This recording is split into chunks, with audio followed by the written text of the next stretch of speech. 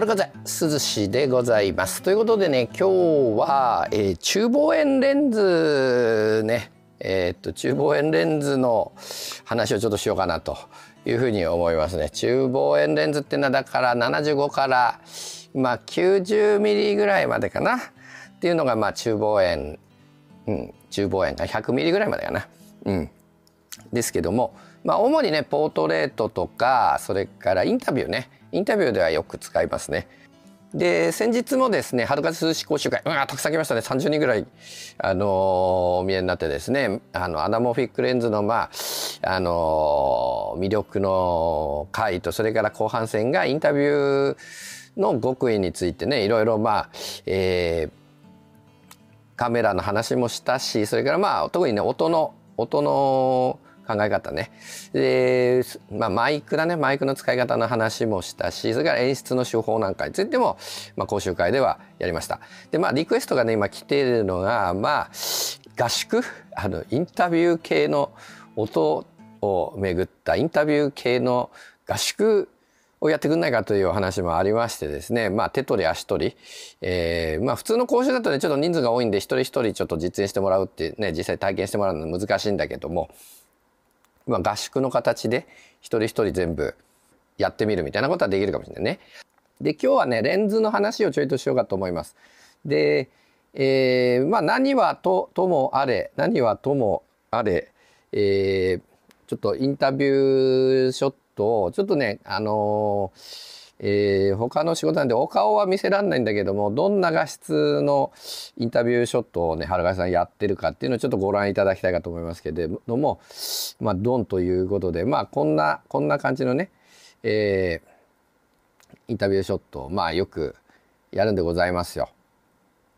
でこのレンズはねサムヤンの、85mmF1.2 あ、じゃあ1.4の、えー、マーク2っていうのかな？えー、っと、AF、これ、よこしょ、ボンと。えー、っと、こんなやつね。えー、AF85mm1.4F2 っていうやつですね。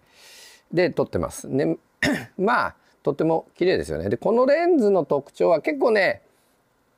プロの、まあ、人物撮影の人は好んで使っててソニーの 85mm よりもいいんじゃねっていうのがまあ春風涼さん界隈ではねよく言われることなんですけどもご覧のようにね背景綺麗だよね。まあ、よくとろけるっていうね言い方だからそれ 50mm の F1.0 とかでやるんだけど、まあ、それよりもねこの 85mm の F1.4 ぐらいで撮った方が扱いやすいしピントの心配もそんなにないんだけど後ろのボケは十分にいいし後ろのボケがとっても綺麗なレンズですよね。で特徴はね発色が強めですねこのレンズはね。なのでまあちょっとビビット感のあるあのいい感じの色味に出てくるので化粧映えするしね肌も綺麗だしね。まあそんなようなレンズです。それからもう一個が、えー、これ。これはね、えー、VAF ですね。VAF の、えー、75mm、あれこれじゃなかった。VAF の 75mm で撮っています。で、ちょっとね、露出高めになっちゃってるんで、ちょっと後ろの感じが、あの、さっきのとちょっと、あのー、ね、感じがちょっと分かりにくいんだけど、で、こっちはちょっと後ろ飛ばし気味の撮影だったので、まあ、後ろはちょっと飛んでますけども、それにしてもまあ、綺麗なボケですよね。とっても素直なボケ。だからシネレンズのボケと、まあ、こっちはスチルレンズ的なボケになってますね。で、インタビューショットってのは、まあ画角がそんなに変わんないので、ズームレンズ使うよりも、まあ単焦点使った方が、あの、基本的に綺麗ですよね、後ろの感じがね。まあこの感じね。まあどう使い分けるのっていうと、まあ女性撮るときは85の方がいいかな。で、万能なのは 75mm ですね。で、まあいろんなこう、動画で、動画でいろんなこう画角で撮るときは当然 VF のシネレンズで、まあ画質が揃ったレンズで長さの違うのを使い分けた方がいいので、まあそういうなんていうのかな、プロモーションビデオみたいに、まあ、ちょっと撮影に余裕がある場合は、VF の方がいいかな。で、えー、こんな、このね、女性を撮ってるみたいな感じで、まあ、キメキメで撮っていく場合について、キメキメっていうのは、もうあんまりね、カメラを動かさずに、えー、インタビューを撮っていくんであると 85mm の方がいいかなっていうふうになりますけども、さてはて、今回ね、その画質のことよりも 75mm がいいのか、まあ、85mm がいいのかね、えー、その辺のちょっと、えー、考え方をちょっとご披露しようかなというふうに思います。で、どっちのレンズもね、まあ、いいはいいんですよ。いいはいいんですけど、普段ね、パッと撮る場合には、75の方が使いやすいです。圧倒的に使いやすいかな。っていうのは、えっ、ー、と、最短撮影距離がね、こっちは69センチ、こっちは85センチ。なので15センチの最短距離の差があるんだけど意外にこの人を撮る時でもこの今女性ね後ろのこの女性のですね、えー、撮影距離はね 2メーターくらいかな。でまあ胸より上になっちゃいますよね。なものでちょっとねこのほんのちょっとのところがね結構微妙でもう一個そのね最短距離がちょっとこの15センチで何が起きるかっていうとこれまあこれも、えー、1メーターちょっとでね2メーターぐらいのところで撮ってますからそれでもね85でこう前後にこうやって動かれちゃうとちょっと AF が間に合わない可能性がありますね。これは多分そういうの純正レンズ使ってもあんまり変わんないんだけど前後ろの動きって結構難しいのでねあの AF が追っかけるにはね。なので、えー、と結構まあシビアになりますねだからマニュアルで撮るのは危ないねオートで撮っといた方がいいねあのっていう感じになりますねでピントのこう落ち着き具合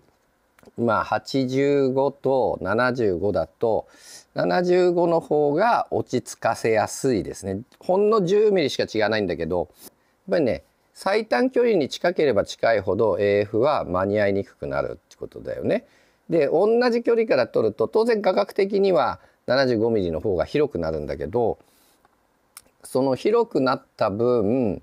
えー、AF も楽になるってことですねピントも楽にあのカメラ側のピントも楽に追従することができるので、まあ、そういう意味ではねこの75と85どっち使うかっていうのは結構あのー、その撮影がえー、どんな状況でやられてるかでちょっと判断した方がいいかな。あのつまりじっくりその余裕がある場合は85の方がよりよりいいですね。例えば F1.4 で 85mm で 75mm で F1.8 だから半絞り違って 10mm 違うからボケ量はこっちの方が断然良くなっちゃうんですね。あの一絞り分以上かなあのボケるのでまあご覧になったようにこの後ろのボケね綺麗ですね。でインタビューショットの場合はあのどんな場所で撮れるか分かんないのでボケが強いレンズを持ってった方が上がりが良くなる可能性が高いですね。後ろが何な何なのかっていうのがあの分からない方がいいですね。でこれこの今後ろに映ってるこのショットはですね、え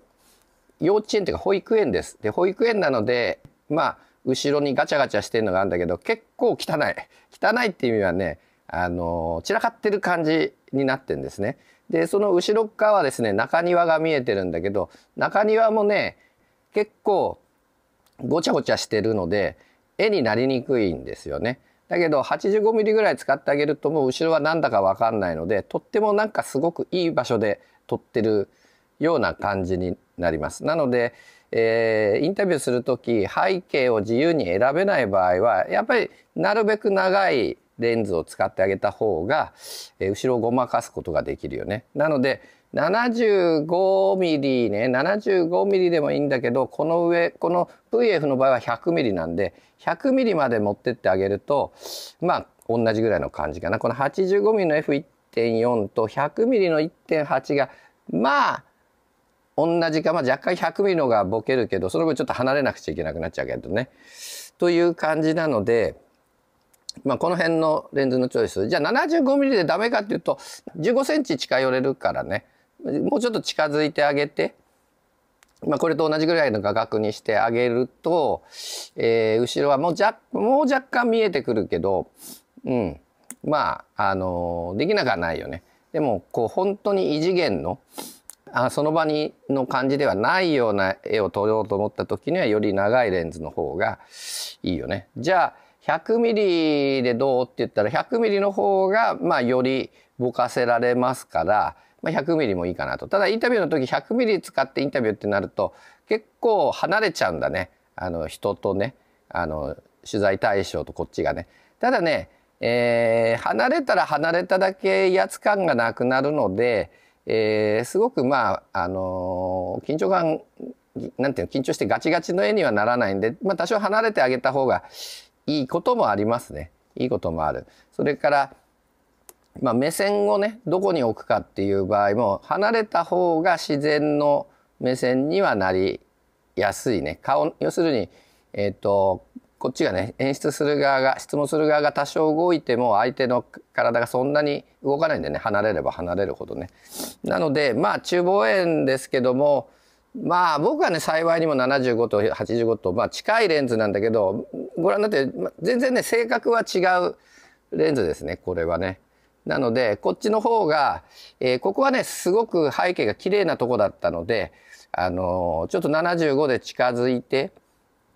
で、後ろが、ものすごいと、あのね、後ろがね、20メーターぐらいあるんですよ。後ろのか、あの、光ってる白いところまでね、窓になってんだけども。なので、まあ、このパースのついた天井の感じなんかを、えー、75ミリを使って見せてるっていうことだよね。これを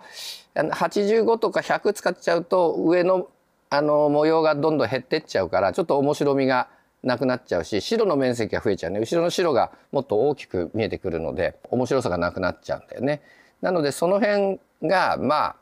この辺の明るいまあ中望遠使った時の醍醐味。意外と75と85で違うので、えー、どっち使った方がいいんだろうかっていうような悩みどころ。でこの2つの絵を見ていただいて分かるように発色においては 85mm の方がいいんだけどそこはカメラ側の設定でもまあ追いつけるので、えー、そんなに差があるっていうふうにも何て言うのかなあの目くじら立ててどっちの方がいいみたいな発色がいいねみたいなことはそんなに考えなくてもいいんだけど後ろのボケ感はまあやっぱりね85好きなプロポートレートカメラマンたちあのポートレートを目に撮ってる人たちがあえてこのサムヤンの 85mm 使ってるっていうのがわかるぐらいやっぱり後ろの感じはとってもこうなんていうのかな油絵チックないい感じだよね。だから本当は 50mm 系ね 50mm の F1.2 と1.0とかっていうのを使うと似たようなことができんだけどどうしても同じぐらいの人の大きさにした時に後ろがもっともっと映り込んでくるからね。あの映り込むっていうのは広いえ広いものが入ってきちゃうからまとめるのがねあの絵をきちっと作っていくのが若干 50mm の方がセンスをあの求められちゃうね。で85ってやっぱりねある意味万能レンズなんで人を撮る時それからまあ猫？猫なんか撮る時もまあ、85ミリぐらいのものはまあいいかなと。ただね、猫の場合はね、近づいてきたりするから、85だと最短が足んなくてですね、猫から離れちゃって、猫の、猫こっち向かせるのに、あのー、こう、猫にこうやって「おいおい」とかこうやってやった時にちょっと届かないんだよね 85mm でやっちゃうとね。なので 75mm とかまあ猫だと 45mm でもいいんだけどあのー、まあでも長いレンズの方があのうちなんか猫が散らかしたお部屋が映らなくて済むからさそういう意味では、えー、75mm がやっぱ猫とかねあのー、部屋の中で子供を撮るとかっていうと 75mm45 から75のところを持ってるととってもいいよね多分ねあのお子様取る時とか、まあ、猫取る時は75がやりやすいんじゃないかな、うん、っていう気がしますね。サムヤンの 85mm は結構2年ぐらい前出たレンズかな。だけども、まあ、隠れた名レンズなんで、まあ、この辺はちょっとおすすめ感がある。まあ、定価で言うと10万円ぐらいのレンズですね。で、まあ一応、はるか水産割引が効くんだと思うんですけど、8月末までね。そうすると2割引きぐらいになるから8万円ぐらいで買えるんじゃないかと思いますけども、なかなかいいレンズですね。もちろん VAF が万能なんで、動画撮る人はね、まあ、VAF の方がいいと思いますけどね。スチルも併用するってことになると、結構この名レンズ、隠れた名レンズ、あの、プロの本当にポートレート屋さんたちは、あの、俺も前に CM の撮影に録音で行った時にそこにスチルマン来てたけれどもスチルマンが「あはるかさんですね」っつって俺の動画よく見てた人だけれどもあのそれはサムヤンの 85mm を使ってたねあのニヤニヤしながら「はるかさんこれでしょ」っつって 言ってましたけど僕も賛成です。このレンズはいいまあもちろんソニーのね 85mm もちょっと使ってみたい気はするけどもうサイズ的にもまあ結構でっかい 500g ですね。あのこの前に、えーと、85mmF1.4 っていう、えー、古いバージョンの古い型の、あのー、85mm もサムヤンあるんですけどそれが 600mm 弱でちょっと重たかったんですけど 100g 弱、あのー、要するに 500mm が 500g ちょっとになったので、まあ、こんなでっけえ、ねあのレンズですけどもまあとってもあのまあいいですね。なのでまあ今ね、春貝さん、あのよくこのインタビュー、これもまあお役所の千葉市の仕事なんだけど、お役所の仕事で、ね、あのいろんなところでインタビューしますけども、まあ今ね、うん、大体ね、持ってくレンズが、えー、っと、28mm135 のシネズーム。もうあれはね、圧倒的に綺麗ですね。あの、とっても綺麗な、あの後ろぼかさなくても綺麗なまあ F4 だからねそんなにこうぼかすのはあのできないっていうよりは 130mm とあね 130mm と 100mm 超えたところであのインタビューとかってなっちゃうからそうすると結構人から離れちゃうんで意外とまあちょっとやりにくいなという 100mm で F F4 だからそれでもここまではボケないからねここいつぐらいまではボケないんでただまあとってもあのいいレンズだから立体感のあるねとっても高級な絵が撮れるレンズなのでまあねあのお金一生懸命貯めて買った方がいいんじゃないかと思うんだけどまああれの光景出てきたらもう多分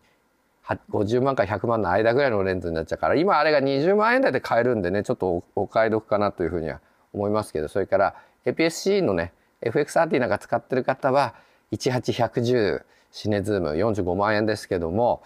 あれも欲しいね。今だからソフ、ソソニーじゃねえや、富士フイルムのカメラ全部売れば買えるんで買ってもいいんだけど、まあ仕事上、どっちもどっちっていうか、あの FX30 でそれ、あのシネズーム使うか、VAF じゃなくて、えっと、E1、ZV-E1 でニッパチ135使うかってチョイスになった時にどっち使うっつったら多分 E1 使う方がいいかな。理由は簡単で、カメラがちっちゃいから、そんだけ。カメラが小さいという、それだけの理由なんですけども。まあね、あので、えっ、ー、と、だ話戻ってくると、普段その、えー、そういうインタビュープラス、ちょっとプロモーションみたいな、あの、インサート映像を入れるっていう時には、メインは、えー、28mm、135mm で、まあ、いろんなインサートを撮っていく。で、この、インタビューショットはこの 85mm 持っていくか 75mm にするかはちょっと相談だね。両方持っていくとちょっと機材が多くなっちゃうから、なるべく機材少なくしたいので、まあ、85持っていけば、とにかく美人さんレンズだから、あのもうプロカメラマンたちもスチルマンたちも言ってるけど、これはもう、あの女性を美しく撮るにはもうこれ最高よと。ソニーはやっぱ硬いんだよ、絵が。あのー、結構パキパキな感じがするんで、ちょっとお肌の感じとかも、後でダヴィンチで柔らかくするみたいな感じまでの気がするんだよね。で、ズームは、まあ、この間もなんか、さだまさしさんとか、あのの重松豊さんだっけとかあのまああの何？なんかちょっとインタビュープロモーション NHK で撮っててそれ全部 FX6 と、えー、なんかスチール用のズームレンズ、 GM 使ってたのかな？ちょっと頭が伸びてたからもうちょっと違うやつかもしれないけどやっぱりね後ろが汚ねんだよな。ズームレンズでやっぱりインタビュー撮ると後ろが俺的にはガチャガチャガチャガチャしすぎてちょっと使う気がしないんだけどやっぱこのぐらいの後ろのいいでしょ？これね後ろね。このぐらいの感じだとまああの許せるかな。で後ろの発色もとってもいいのでまあ若干グレーディングしてんだけどねちょっと色があのアンバーに転がってたんで少しあの青は青っていうかね後ろの色をすっきりさせてますけども青強めってことですね後ろね。あのでハイライトが青がちょっと強めの方向に振ってんだけどもとまあとっても綺麗な感じちょっとねお肌とか見せたいんだけどちょっとあのお顔の調子とか見せたいんだけどちょっとこれあの肖像権なんかまでちょっと見せられないんでこの状態ですけどもまあいいレンズだよね。で無難なのはこっち無難って意味はねこっちの絵はね難しいっす難しいっていうかねあの露出をねちょっと変えると発色がね大きく変わるですよ。ちょっとお見せするとですねでまあちょっと猫の猫の絵ですけれども、えー、これ 85mm で F5.6 半だから6.3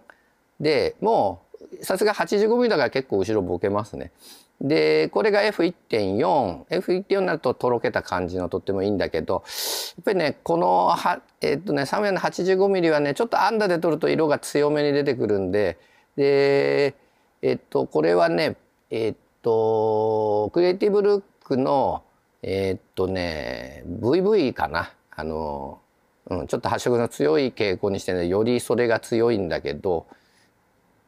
これもそうですね。アンダー目に取ると色がこってりしちゃうね。うん。こんな感じですけどね。これ 85mm ですね。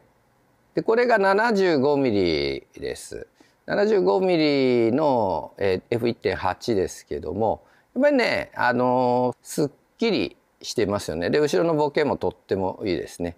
でこれも、75mm75mm の方がまあ露出がまああの、決まりやすいっていうのかな。まあ面積の問題なんですけどね。画角の問題なんだけど、まあ、多少、えー、パープルな感じもしなくもないけどもまあでないの？みたいな。これもえっ、と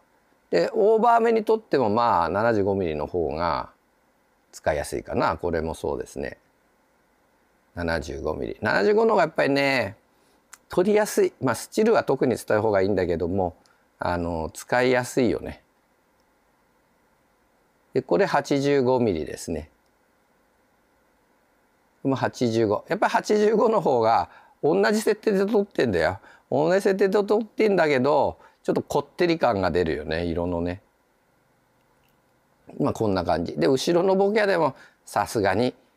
いいよね。ふわっとしててね。うん、でこれも85だからちょっと露出を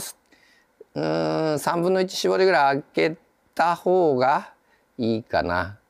これも85やっぱこってりするよね。85ってね。これパッと見て分かりますよねこれ75。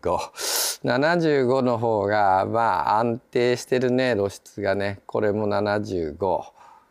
うんっていう感じかな。まあということでね意外とあのー、似たようなレンズなんだけどで同じ会社が作ってんだけどやっぱり味付けが違うっていうかレンズのね構成っていうかレンズ枚数とかの違いがあるからやっぱり同じ光が入ってきても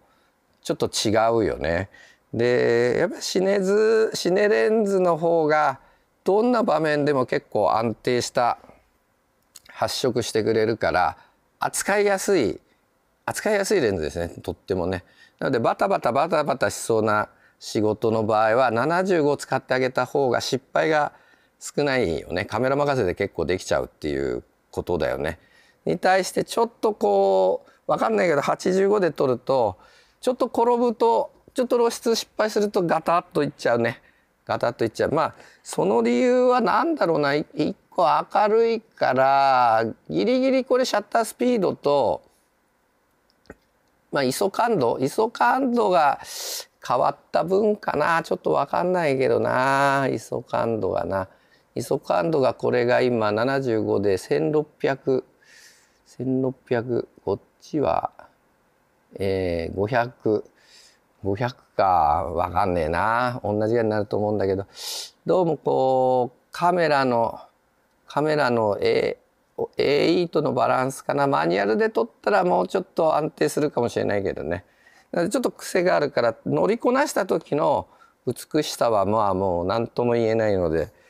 えー、インタビュー撮る人はこのまあこのレンズに限らず 85mm の単焦点っていうのは1個持ってるとインタビューがとってもまあなんちゅうの？あのー、面白くなるんじゃないかなと思います。ということでまあだらだらだらだらと話しましたけれども意外と85と75が違う性格のもののレンズなんだなというのはお分かりいただけたんじゃないかな。まあ 100mm もね撮ってみればよかったかな。100mm、まあ70 5ミリ要するにね VF の場合発色とか後ろのボケが大体一緒なんで画角が違うだけって感じだからねなのでまあ安全な、